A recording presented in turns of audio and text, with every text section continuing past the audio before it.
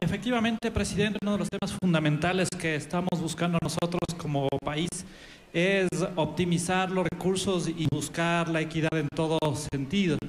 Y en este marco, lo que este momento se acaba de señalar es parte de fuentes de inequidad, ¿no? de construcción de justamente una sociedad mucho más desigual.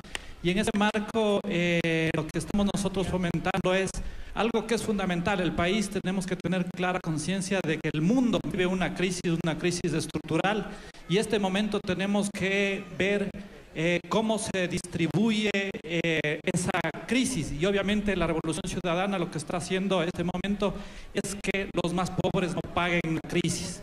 Es por eso que estamos nosotros eh, tomando decisiones, decisiones importantes para que el nivel de vida de los ecuatorianos siga avanzando como ha estado avanzando hasta el momento, presidente.